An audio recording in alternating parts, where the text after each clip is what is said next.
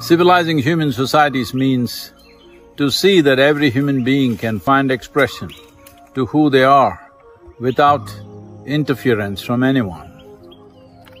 Well, civilization is not a practiced behavior. Civilization means we have created an atmosphere where the strong and the weak can live together. Diverse sorts of people with different sorts of beliefs, different economic statures, different levels of intelligence, different levels of knowledge and ignorance, all can live without discrimination. This is civilization. Civilization is not about just careful behavior.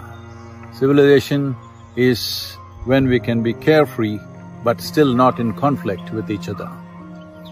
This will not happen unless every human being invests a certain amount of time, energy and resource upon their inner well-being because the nature of material world is naturally of comparison and comparisons lead to conflict.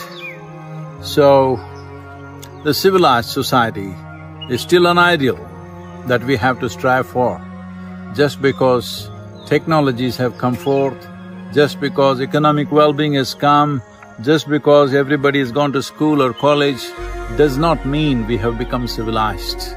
Till we create an equitable society where our distinctions, our differences do not become discriminations, till then there is no civilization.